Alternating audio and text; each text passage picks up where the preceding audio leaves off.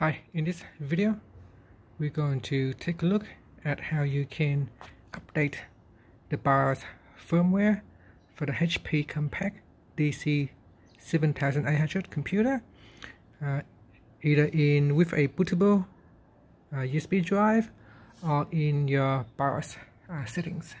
And so you can see here it's a flashing system ROM. Do not remove power Okay, the first thing that you need to do is to download the firmware from the HP uh, website in, rela in re uh, relation to your computer. And if you want to, uh, to update the BIOS firmware using DOS, then you need to create a bootable DOS USB drive.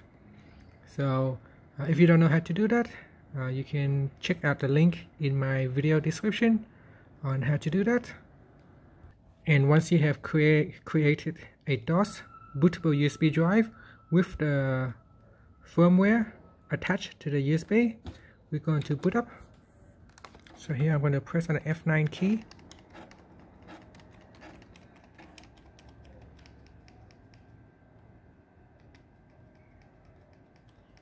And I'm going to choose USB device.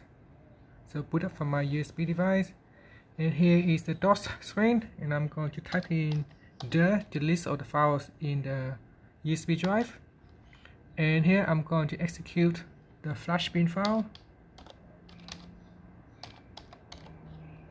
So flash bin. Um, I think I missed out something. Flash bin and then enter.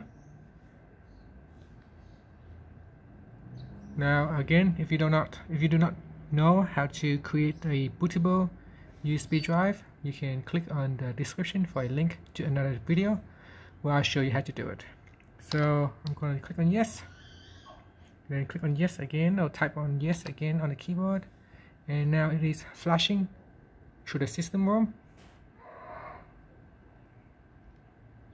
So this is one of the way to update the motherboard BIOS firmware and that's it. So it has now finished. I'm going to reboot the computer. Now another way to do it is to press on the F10 key when the computer restart. And in here we're going to go into the BIOS menu.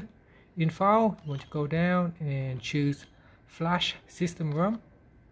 And then I'm going to choose USB and press on F10 to accept. And here it will locate a file in the root directory of the USB drive and that file is called 7f1 underscore 0135.bin so press on the F10 key to accept.